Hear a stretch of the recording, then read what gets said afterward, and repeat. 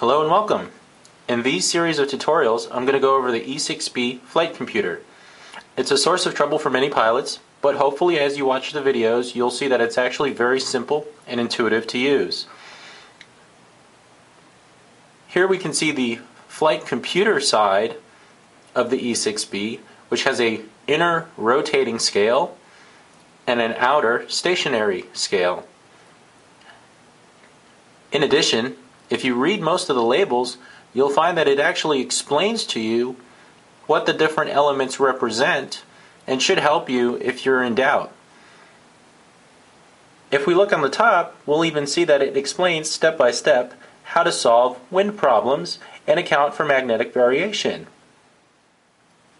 If we look at the reverse side, we can see that there's a rotating wind index, which allows us to calculate things like ground speed and wind correction angles.